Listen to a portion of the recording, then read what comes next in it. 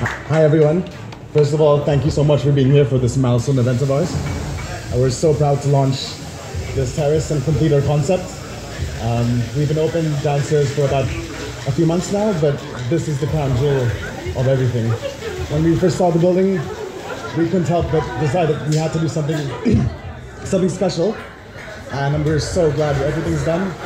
We spent a lot of time, hard work, and of course money to make this a reality. And we're so happy that we can finally launch with a bang with all of you here. I'd like to thank our, our team of staff for working so hard, being on the ground, and um, I'll let my brother uh, tell you guys more a bit about our concept.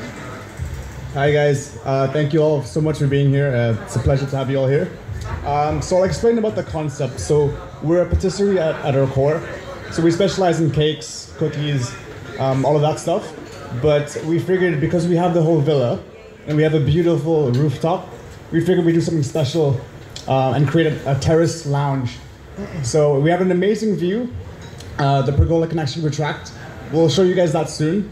Um, so we'll be serving breakfast here um, from um, around 8 o'clock.